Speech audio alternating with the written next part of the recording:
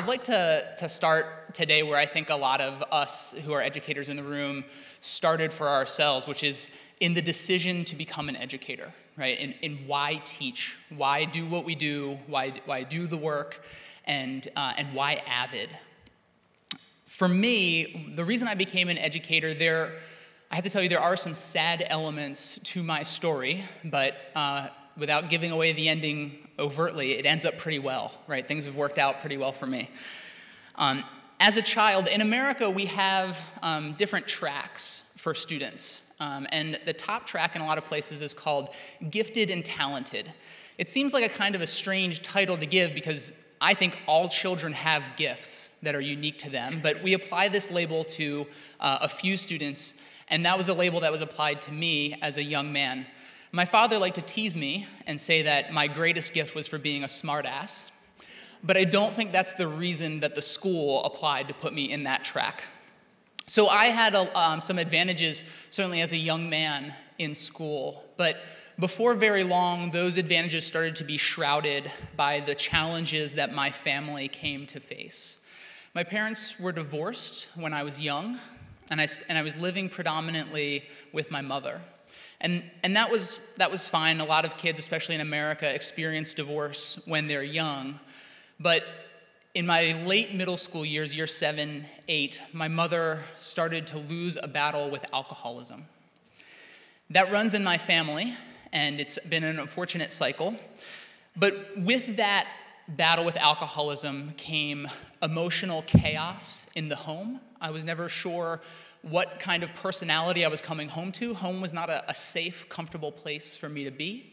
My mother lost her job, and then with that came poverty and the stresses and challenges that come along with that poverty.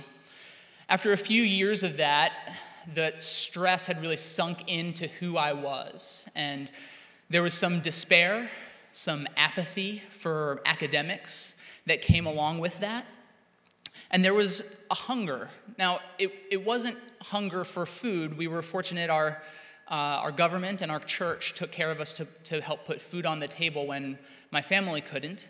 But there was a different kind of hunger. Uh, the American author Richard Wright said that a man can starve as easily from a lack of self realization as from a lack of bread. And that lack of self realization was the initial hunger that I was starting to feel as a young man. And it was those initial pangs of hunger that were in my soul when I met two teachers that just sparked a hope in my life that still burns to this day. They were the ones who helped turn that hunger from something that was slowing me down, that was debilitating, that was preventing me from going forward, into a hunger for excellence and a hunger for a drive for more and more. I would love to have the time to tell you everything about these two men, but I have a flight on Saturday. And so there just isn't enough time to tell you everything about these two guys. But I would like to instead focus on what they made me feel as a student about myself, the, the feelings that they gave to me. They made me feel, at a time when I wasn't feeling this in other places in my life, they made me feel valued. They made me feel that I had worth, that I had a contribution to make, and that I really mattered. Their attention to me, their affection toward me and their students made me feel those things. They made me feel like someone believed in me, that they saw this, these capabilities and these talents and this potential that I had no idea existed in me, but they saw in me. And so, as, as, I came to trust their belief, I started to develop some of that trust in myself and that belief in myself. What I think was most important about these two men is that both of them demanded my absolute best work. They knew that the outside world wasn't going to lower their expectations for me, and so I had to rise and meet the expectations of the world. And so they supported me along the way, but they demanded my very best work. I might have been satisfied with, a, with B level work, but they were disappointed in me with B level work because of their expectations. I think every child deserves to have people in their lives, people in their school lives that do these things for them, that believe in them, that value them, and that hold very high expectations for them. And at a time in my life when I was bankrupt of belief and that hope had been extinguished from my heart, these men relit that flame in me. They took that hunger and they turned it into a hunger for something more to achieve, to grow, to live a fulfilling life. This was such a powerful transformation for me. And when I left high school, I felt compelled and called to go on and to do this for others. This is why I teach, because of that gift that was given to me. And that's the, that's the work, that's the gift, that's the opportunity that Avid gives us to do into the lives of others. To give students hope. And when I say hope, I don't mean hope as in I hope my plane takes off on time or I hope that I get on the right tram trying to get around the city. Hope in a much deeper sense. The, there's an organization in America called the Gallup Organization, and they're famous for doing all kinds of polling from politics to, to well being and, and, and uh, quality of life. And they've done some very interesting work around this idea of hope and what it means for students. Their definition of hope aligns with an ancient virtue of hope. It is, it is both the belief in a great future and the confidence to make that be, to make that come to be so. A deep belief in both an optimism for what's going to come for me and the skills and the efficacy to make it happen, right? This combination that I think is so important to, to spark in our students. And it's this mindset that I think we want to have in, in all of our students, this mindset that I see in the students that we'll meet later today, that they have the power, they have the agency and the efficacy to go out and make a great future for themselves. And the work that they've done, the research behind this has found that for students who are high in hope, who say that they have multiple ways to make that great future come to be, that they have a great expectation for what's going to come for them, and that they have an adult in their lives who believes in that future for them, this is worth about 12 percentage points in productivity or achievement. It's worth about a letter grade if you, if you hold uh, IQ even across the board. That, that's what hope is worth. Hope matters. But even more, I think, I think, promising than that is that their research has found that hope is a better indicator of college success than any of our university entrance exams, the SAT or the ACT in America. Hope is a better predictor of college success than that, and a better predictor of college success than GPA. Hope matters, sparking these feelings in our students, this self belief and this optimism for what is to come and the power to go get it. This really deeply matters for our students. And when I think about the AVID program and AVID teachers, I really think we stand at the gates to that hope. We stand between where some of our students are in the darkness of doubt, pulling them, urging them to walk through those gates into the light of hope and possibility. And this can be an incredible challenge for the students. I had a group of AVID students that I was with for four years. They graduated this past June. And so I know their stories well. And they faced some incredible challenges, some incredible twists and turns that made that gate seem so far away from them. They faced eviction from their homes, multiple students. A couple of those students had been abused themselves. Two had faced homelessness during their four years in high school. Some of them had faced depression, anorexia, parents fighting addiction in their homes. The gates of hope can seem so far away when that's what those are the doubts that are part of your life. It can seem impossibly far away. And that's why they need us. That's why they need teachers standing in those gates, beckoning and calling them and urging them and telling them that they can walk through to that other side, to that light of possibility of what can be the future in their lives. And that's where you can be. One person in that gate matters. One person can have that power. It happened in my life. Knowing the power of that teacher to pull me through and see that hope, to walk through the gate and see what was on the other side. I don't, to the teachers in the room, please never doubt your magnetism, your joy, your power to instill that hope in students, to give them like an irresistible siren's song, the urge to come through those gates and see what's possible for them on the other side. I want to tell you the story of one particular student who graduated from our AVID program a few years ago. His name was Isaiah. He came to school. He had transferred from out of state. And he quietly did his work in the back of his English classroom.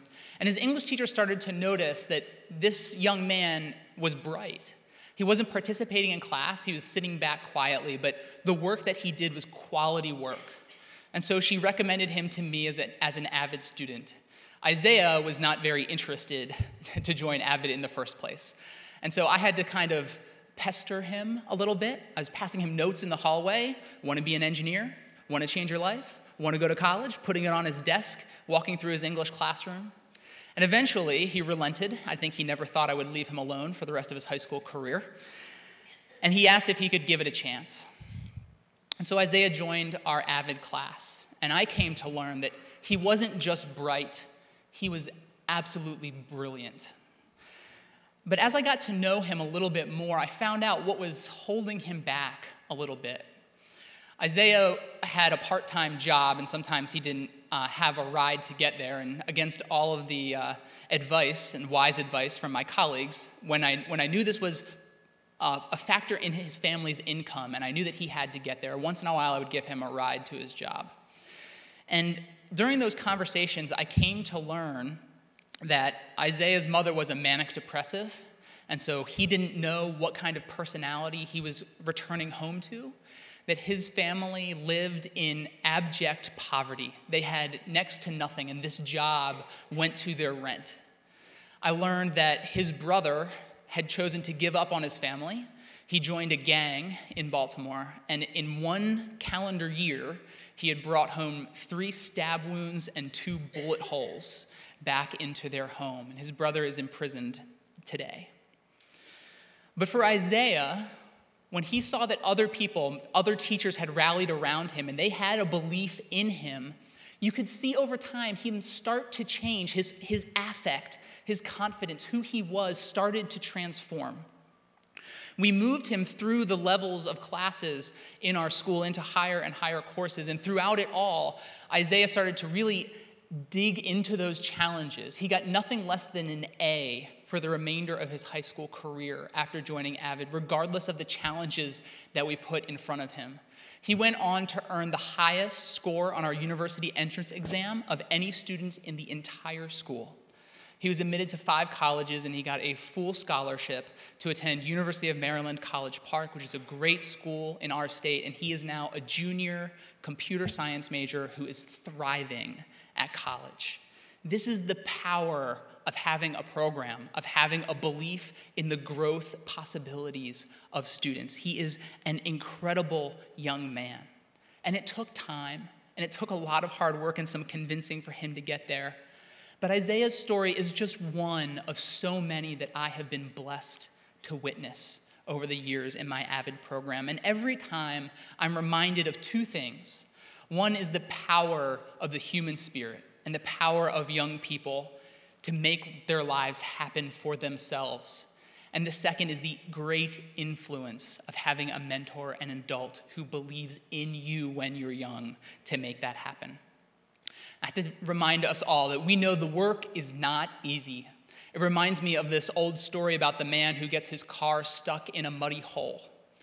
Gets his car stuck in this muddy hole, and a farmer comes along and he says, I'll tow your car out, but it's going to cost you 50 bucks because it's the 10th time I've had to do it today. And the guy says to the farmer, The 10th time? When do you plow your fields? At night? And the farmer says, No, no, no, no. Night is when I fill the hole with water. it can often feel like there are a lot of muddy holes getting filled in front of us as teachers. Our work sometimes just feels like it keeps getting harder. It happens to everyone, but I want to just remind you that we can fill those holes. We can clear that path. And you all are, are avid trained or about to be avid trained, and so either you love strategies or you will come to love strategies over the next few days. And so I want to share with you just a few of the themes of my classroom and my work that I think a lot of strategies can fit into that's made a difference for my students. And these are just the, the ABCs of what's, what's been successful in my classroom. The first, the A, is for affect and affection. I think it's so important to remember that as teachers, our affect, our mood, our personality really sets the temperature for learning in that classroom. That so much feeds off of who we are and the personality that we bring into the classroom, the joy and love that we can show for the learning and the work and the students, and how that rubs off on them. And then, secondly, and so important there, is the affection that we can show for our students. The brain science behind what happens to our minds and our learning abilities when we're in a positive place is so powerful. When we feel positive about what we're doing compared to negative or neutral, it's 31% more productive. When we feel happy, we have a happiness advantage. When you choose joy and you choose positivity and we help students feel that, they are smarter, they're more productive. That's what we want. On the other side of that, extreme stress that comes sometimes with scarcity and challenges, that, that equates to the loss of 13 IQ points. It's like operating without a night's sleep. I think as teachers, we need to really consider how can we create an oasis of positivity and grace and joy for our students to come into in that classroom so that they can kind of try to divorce themselves from that stress and enjoy the joy of being in there.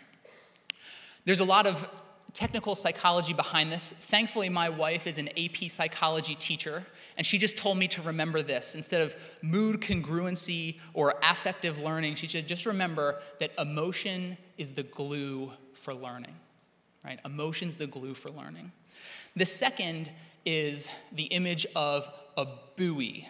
Now, I think you call this a buoy. Here's the thing that bobs up and down in the harbor, right? And that was a buoy in America. I didn't want to say boy because I didn't want to think everything that had to be a boy in order to do this strategy, and there are no operations needed to do this. But this idea of a buoy, something that is, that is constant, that as the waves come, as tidal waves of challenge comes, that it just keeps bobbing there, that it's a constant, that it's reliable, that it will always be there. I think as the challenges and the tidal waves of, of disappointment or joy hits our students, that we can remain that constant for them. And so much of that has to do with us finding balance in our own lives, us making sure that we are emotionally fit to be able to give to students when they need, and making sure that we are in a, in a, in a good place ourselves to remain that constant, remain that buoy that students can grab onto when life gets crazy around them. And then C is for the word challenge right? To, to always be challenging ourselves as teachers to grow, to improve, but also to share a challenge with our students, to challenge them to be their best. I think it's one thing to, to have joy, but it's a whole other to find the true power in meeting challenges and making the most out of those opportunities. These aren't your typical professional development strategies, but this human connection, these relationships that are forged through this, has been all the difference in my classroom teaching. I want to close with just one more quick story from a student in one of my classes. A young lady named Lauren was in my class, and she was also taking a ceramics pottery class in our school. And when they had finished their projects, they were each allowed to invite one teacher to a tea party. Now, as a rule, I never turn down invitations to tea parties, so I was happy to be Lauren's guest to this tea party. We're sitting there in the classroom, and, and I have zero artistic ability whatsoever. Uh, I, I, can't sing for a lick. I, a three dimensional cube is like the best I can draw. And so I'm looking at these incredible works of art that these students had produced. And I said to Lauren, How is it possible that you can see just a lump of clay and imagine it to become this beautiful pitcher, right? Or this mug that we're, that we're using today? How is it possible to see a blank canvas and imagine the beautiful portrait that's going to be there. She said that her art teacher had talked to them about that, and she called it this term hyper seeing, seeing what isn't quite there yet. And her art teacher shared this quote from Michelangelo that kind of put it all in perspective. When someone asked him this question about how he had carved this beautiful statue, his response was, I saw the angel in the marble, and I carved until I set it free. As I sat there with Lauren, and I thought about her, and I thought about my work as a teacher, I thought, what a beautiful metaphor for what we do as teachers. we see the talent, the ability, the brilliance in students, and we teach until we set that free. And so as we go forth here from, from here, I, I just like that image to stay with you. The way that you can use your, your carving tools of hope, of being a buoy, of challenging them, of having affection for the work and love for the students, and how you can use that to set free their brilliance. Thank you so much for having me. Thank you so much for being here. And thank you for the work you do every single day with your students. Thanks so much.